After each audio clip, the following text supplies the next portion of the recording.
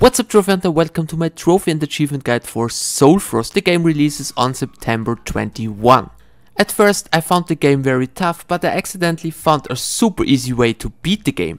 First of all, change the soundtrack to retro because this is necessary for trophy. So start the game and press the option button to skip all the text. So in the top left corner you can see the function which is basically your health and the energy. The energy allows you to fly and shoot with the cross button.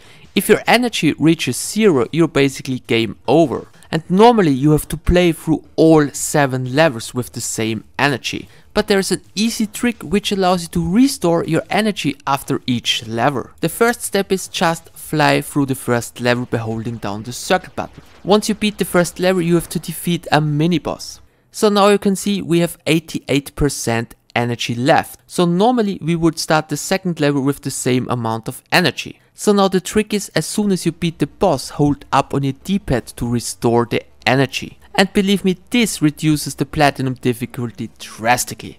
Unfortunately, there is no way to restore your health. But this should be not a big problem because now it's possible to fly through each level. I recommend facing the final boss with at least 60% function. It's always possible to replay a previous level and get a better result. So in case you lose a lot of health in a level, just replay the level and try to get better. To replay a level is also necessary for two trophies.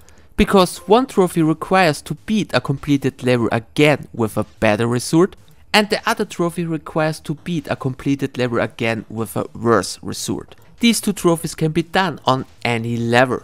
If you are not able to beat a completed level again with a better result, just start a new game, play very bad and then repeat it and play better. I reached the final boss with 58% health and I was able to kill it with 6% left. But to be honest I was not really focused. If you die on a boss fight you do not have to replay the entire level. You will always start at the boss fight again. So once you completed all 7 levels and got the result trophies out of the way, you should only have one trophy left, which is basically the hardest one in the game. You need to complete the secret battle. If you have a turbo controller, the secret battle is super easy.